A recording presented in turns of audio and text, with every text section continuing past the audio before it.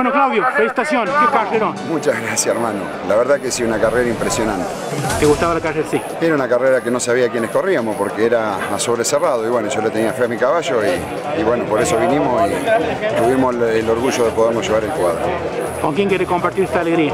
Con toda mi familia, con mis viejos, con los muchachos del estudio, con todos los que estamos en el ambiente, con todo ello, porque realmente son cosas muy lindas disfrutar, que no es fácil disfrutar de una carrera ganada y hoy lo hemos hecho.